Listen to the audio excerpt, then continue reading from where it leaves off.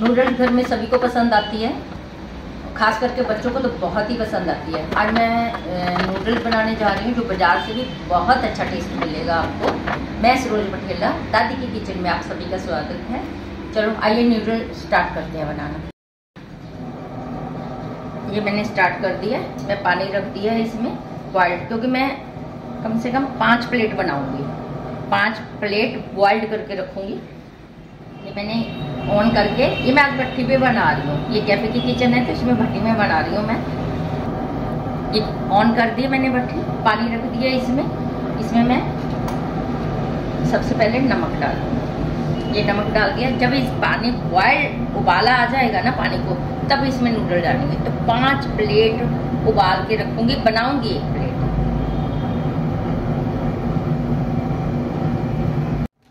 ये पानी उबाल आने तक हो गया पूरा। इसमें मैं नूडल्स डाल रही हूँ। ये नाबिया की नूडल है। इसमें हाफ़ पैकेट ये लीजिए हाफ़ पैकेट डाल दिया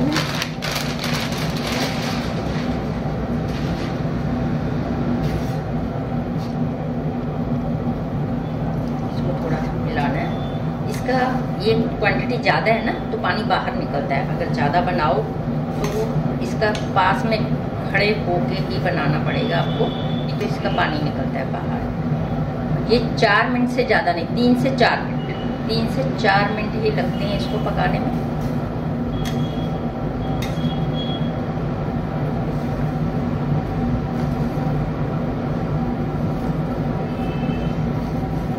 इसको चेक करते हैं।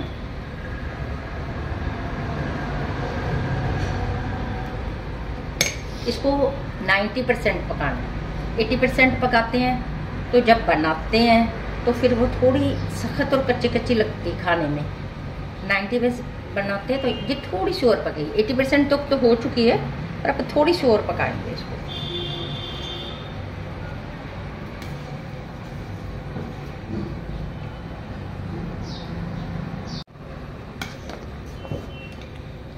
ये लीजिए।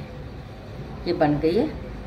दिखने में भी थोड़ी सी ट्रांसपेरेंट हो जाती है। थोड़ी सी और पकाएँगे तो ज़्यादा ट्रांसपेरेंट हो जाएगी और वो गल जाएगी फिर।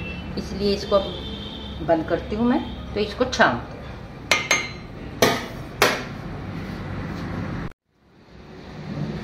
ये छान लिया मैंने और मैंने इसे रखना है ना तो इसलिए मैंने इसके ऊपर पानी डाल दिया था एक बार साफ़ पानी।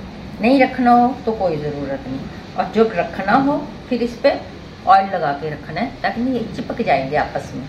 अब जब तक ये सूखते हैं, इसका पानी निकलता है, तब तक आप सब्ज़ी काट लेते हैं। इसको साइड में रख देते हैं।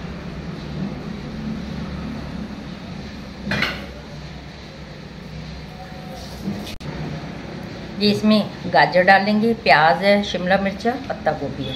इसके लंबे लंबे स्लाइस कटते हैं।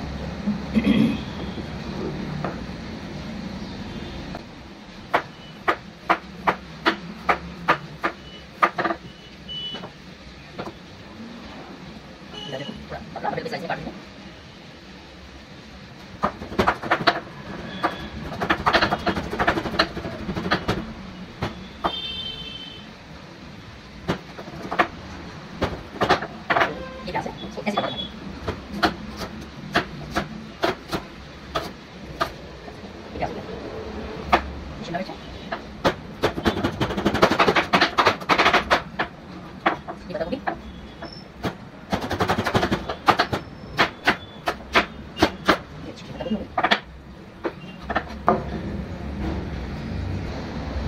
बोर्ड से मैंने ये प्लेट्स में शिफ्ट कर लिया है। ये मैंने बोला था ना, मैंने एक ही प्लेट बना रही हूँ तो एक प्लेट के हिसाब से ये पत्ता गोभी, ये सारी लंबी लंबी लच्छेदार अच्छी लगेगी इसमें। तो ये कैरेट है, ये शिमला मिर्च है।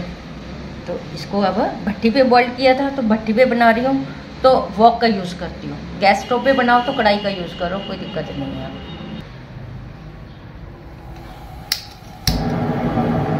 गैस ऑन कर दिया।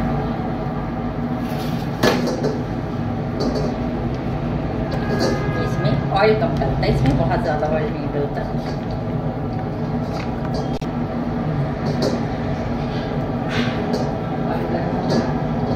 तो ये सारी वेजिटेबल मैंने इकट्ठी डाल दी।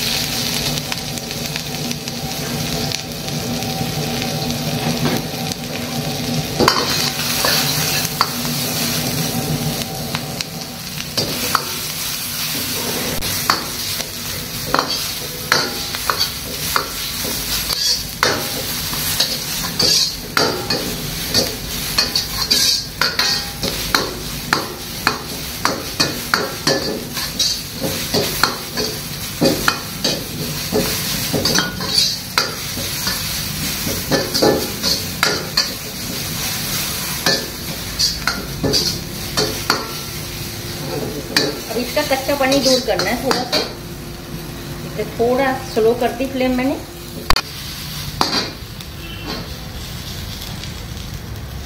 डाले नूडल नूडल डाल दिया मैंने।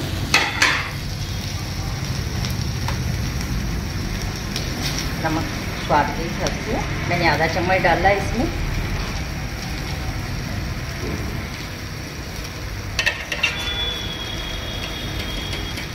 मिर्च का टेस्ट आपका है। मैं लाइट बना रही हूँ, बहुत ज़्यादा मिर्च नहीं डाल रही।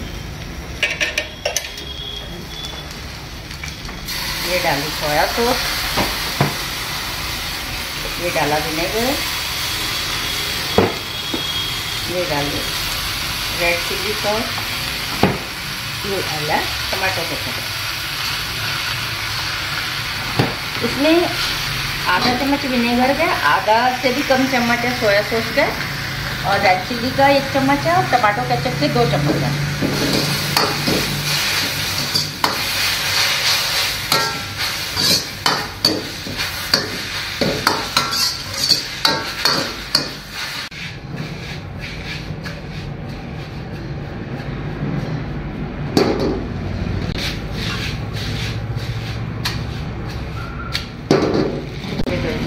थोड़ा सा धनिया डालेंगे ये आपका टेस्ट है, वो डालता है, नहीं डालता, मैं डालती हूँ। दो तीन बार इसको टॉस कर दिया।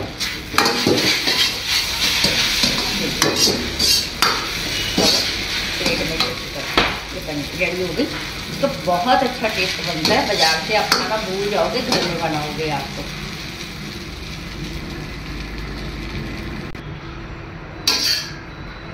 इसको प्लेट में शिफ्ट करते हैं। देख कितनी अच्छी बनी है। खिली खिली एकदम। खुश हो जाते हैं। ऐसी मेरे बाहर का क्यों खाना? ये घर में इतना अच्छा बना है एक प्लेट बन गई है। और दूसरी जो मेरी नूडल्स है ना बच्चे उसको मैं ऑयल लगा के फ्रिज में रख दूँगी। ये देखिए। ये देखिए। Veg chow mein. एक एक इसकी नूडल्स है, जो सेवियाँ है, इसकी एक एक खिली खिली। आप इसी मेथड से बनाओ। आप, मैंने तो भट्टी पे बनाई है। आप गैस स्टोव पे बनाओ। आराम से यही मेथड से बनेगी, यही क्वांटिटी डलेगी।